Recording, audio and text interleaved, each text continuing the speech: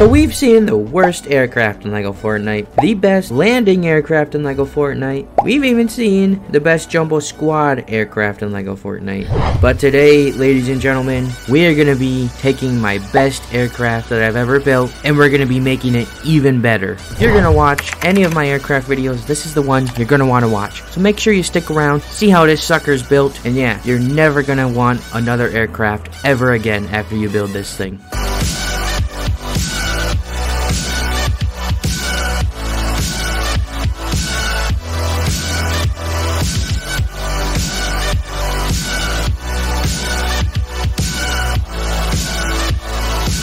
Okay guys, so it's raining here a little bit, but I'm too excited to get into this thing. If you haven't seen this massive helicopter tower I built, this thing is awesome, man. Definitely better than that little aircraft tower I built in a couple episodes before, but that was obviously in survival, so yeah, it's enough yapping for me. That's the aircraft right there. Ah, you guys enjoyed that little intro I made there. Make sure you hit the like button if you're new around here and want to see more aircraft content. Make sure you subscribe, turn on post notifications so you never miss another video. But yeah, let's get right into this build here. So first off, we're obviously going to start with these dynamic foundations and place one there. And then we're going to place one around each side and make sort of like a little plus sign like that. And then if you're in survival mode, you're not going to have these pieces here, so I'm going to make it easier for you guys. Get these 4x4x2 wood foundations, and you're going to place one on this black line here. You're going to go one, two, three spaces over like that. So you're three blocks away from that black line there. We'll go four of these guys high. So one, two, three, and four, just like that. And we're going to do the same thing on this side. Don't worry if your aircraft's making a lot of noise. It'll stop once we get it up in the air. So one, two, three, and we're going to place this one four blocks high as well. There we go. So next up, we're going to get ourselves this plank railing 03, the 16 foot long one. We're going to flip it around so it looks like this. And we're going to go as far as we can to the edge here to where you can't place it anymore. And then we're going to place one on this side we're going to place one on this side. We're going to place one on every side, just so you guys know. So we're going to place them on the exact same spot on every side. Just like that. Now we'll come to the plank railing 02. And we'll just butt it up against each side just like this. We'll do that on every single side. So right there. Come over here. Then last but not least, we do this side. Alright, and then we can come to the left again. We're to do it all over again with the plank railing 01. So, if you actually snap it right against there, it's a lot easier. So hurry up and flip it, snap it, and that makes building a lot quicker with that snapping function. Oh, I think we placed that guy backwards. Yep, we placed him backwards. So make sure you're, uh, I guess it doesn't really matter. But yeah, you don't want it look backwards. Make sure they're all facing that way. So that looks good. Alright, now this is a option. You don't have to do this, but I'm going to place a big, large tire on the outside on each side, just like this. And this is going to prevent you, if you hit any buildings or anything, it's going to kind of bounce off. And it's not going to do any damage to your airship. So for some reason, I'm having trouble placing... I don't think it's lining up right right here. So if you're having trouble placing those tires, all you got to do is place one balloon in the middle here. And we'll place one balloon on this side one balloon on this side. and we'll place a balloon on this side. And that should lift your aircraft up so that it's like this. And now if we go over here, we should be able to place a tire right here. There we go. Now if we come on this side, we might have to lift it up. Yeah. So probably just a small red balloon, maybe a couple. And we should be able to place a tire here. And perfect. Obviously, you can't really do this in survival mode unless you have... It's going to take a while. You can build up. There we go. Jeez, oh man. I'm to break my airship trying to break these balloons. But obviously, that's going to be a little bit harder to do that in survival mode. So if you guys don't want to waste your materials on the tires, and it's not really... Uh, it's going to be a little bit harder to do that in survival mode, so just do what you guys can. You don't need the tires. They're just a safety precaution when you're coming in a little bit hot to something and you can't really slow down and you actually bump into it but it's getting nighttime out and you guys know the drill bam and with the magic of editing it is now daytime out let's continue this freaking build alright guys so next up you're gonna want to get yourself this shogun palace wooden lantern here we're gonna go right we're gonna go right in the corner here to where you can't place it anymore. So see it's right here. So go one out and one in. Place it just like that, and we'll do that on each side. So one out, one in. Go on this corner. Make sure it's level. So one out, one in. And this side, same thing. That gives this aircraft a little bit of lighting. Very optional, but I like the look of it. Very nice. So now you're to get either a medium chest or small chest, whatever you can afford here. And we'll just tuck him right in the corner right there. And same thing on that side. Then come over here. And honestly, guys, you can put whatever you want here. But I'm just going to put chests here for the time being just to fill this space up. Next up, you can get yourself a bed. And we'll place it right in front of these chests just like this. And once again, you don't need to put these beds here. That's just optional. So put whatever you want there. Now next up, you're going to want to get yourself a little palatial coffee table right here. You're going to want to try and center it up. You can kind of just eyeball it and center it up. And right from this black line here, right in the middle, we'll go one, two, three spaces over. So it's going to look something like that. It's about one block over from the black line there. And then we'll get a activation switch and we're going to place it right in the center of that table, just like that. And then we can go to the chair section and get whatever chair you want. I am to pick this cool little lounge chair right here. I think this thing looks absolutely amazing. We're to go from this black line, we'll go one, two, three, four spaces forward.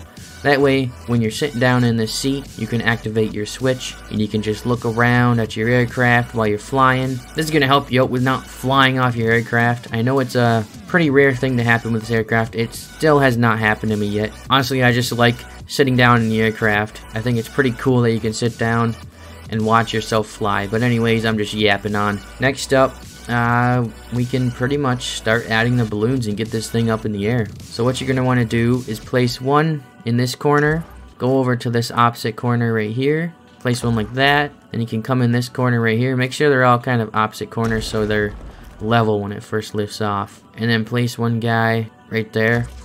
And now if you want to put tires on the bottom, this is where you're going to have to place balloons and break them. So I'll show you guys, but if not, skip to the this time on the screen here if you don't want to put tires on the bottom of your aircraft. So place one in the corner here, one in this corner. We're just going to place one in every corner, just so you guys know. So one there, one there, one in this corner, and then one in this corner. And that should lift it up just enough for you to place tires. And if it's doing this wonky thing here, I don't know why it's doing this. Obviously, just place one more balloon on this side. And it should lift it up just enough to where you can go under here and place your wheels. So we'll go one here. Don't worry, if you think your aircraft's flying away on you, trust me, once you place these wheels down, it'll come back down on you. So kind of try to be fast, otherwise it will come down too fast and you won't be able to place the rest of the wheels. So put one, one there, it doesn't really matter where they are, just put them all in the corners there, and perfect. Just like I said, it's going to fall back down. Now we can hop back up here, we'll go around, break all these balloons here. Don't worry, now after the update you get all your materials back, so we're not wasting materials here. Just make sure to pick up all of them, because that silk thread is very precious, man. Alright, now with that being said, make sure you got the materials to build yourself enough thrusters in case you do end up breaking them and they do, and your materials do fly away on you. Make sure you have enough for some extra balloons. Trust me guys, fill these chests up with wooden rods, blast powder, planks, cords, silk fabric, and torches because you're gonna need them. You will always, I promise you, you will always lose extra materials when you go to break them because sometimes this game is very glitchy and buggy. But yeah, let's place the rest of these balloons on the corners here. And if you are building it on the ground, you honestly might not need this many balloons, but I like to be really high up in the air. So we got two big balloons on each corner, which totals to eight big balloons. And that gets you pretty much high enough to go over almost every mountain. There's my other aircraft over there.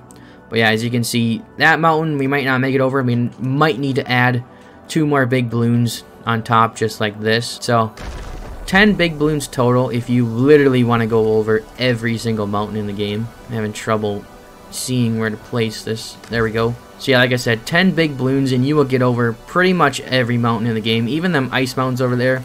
We can probably just escape the top of that. If not, you can always add thrusters on the bottom of this and hit the switch and you will go higher. But that's uh, something I don't really like doing because it just makes it harder to land your aircraft.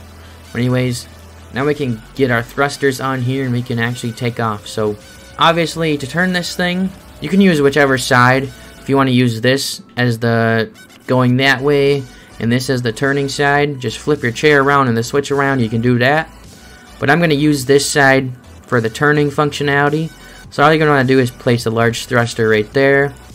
And let's say you want to turn towards that big mountain right there, right? All you guys to do is hit the switch here, and your aircraft will rotate. And once you're lined up with that mountain there, we'll turn it off. And we're almost there, right there. So now once you're lined up, all you guys to do is break this. You should get every material back. Sometimes you might not. It just depends if the game's liking you that day or not. But anyways, oh, I thought I just jumped off. place this thruster. If you want to go really fast and want three large thrusters, place this thruster as far down as you can. Then we'll go up just to where we can place the next thruster. Man, it's so complicated. Right there. And then we can place one more on top. Just barely. It's just hanging on there. So we got three thrusters. That one's literally on there by the skin of its teeth. Anyways, now we can sit in our chair and we can head towards that mountain. Hopefully we won't bang into it. Sit down and enjoy the ride, guys. Man, this is awesome. I am so glad Epic added sitting into this game. This definitely changes the whole aspect of aircrafts for sure. Because this means you no longer are going to have the chance of just randomly flying off your aircraft. But yeah, just like that. Normally, you see that happen, you would have probably just flew off that aircraft. But since you were sitting in the seat, all it did was knock me out of the seat, and we're still good to go. So it's kind of like a nice little safety feature that you get. And I know every brand new aircraft that you just built is gonna do that to you. I don't care how good you think your aircraft is, that is just gonna happen to you. It always happens. You heard that all that noise it was making in the beginning there when we first lifted off. Now it's not making any noises, so now we're good to roll. That's not going to happen to us again, most likely. But yeah, that's pretty much it. If you want to get out of your chair, just press the B button, you know, get out of the chair. We can turn this way if we want to. And yeah, that's pretty, it's pretty simple. Obviously, if you want to land, let's break some balloons here. You need to break four balloons. So we'll break four on each, we'll break the two on each side. And that'll be just enough to get you low enough to land. I was like, why isn't it landing? Then I remembered I placed two big balloons up here, so you're gonna need to break these as well. I was like, I thought four balloons let me land last time. Completely forgot I placed these up here. We'll break these guys. Break this last one here if I can. And the aircraft should come down for a very easy landing. And there we go, almost right on top the wolf there. And that's, guys, it's as simple as that. All you want to do if you want to take off, place a balloon right here. Hopefully this wolf doesn't eat us. And then we're going to place a balloon right here. And that's it. We're back up in the air. And honestly, those are the only balloons you need if you don't want to go very high. But yeah, that's pretty much it for this video. If you guys enjoyed, make sure you smash that like button. And uh, yeah, I will see you all in the next one.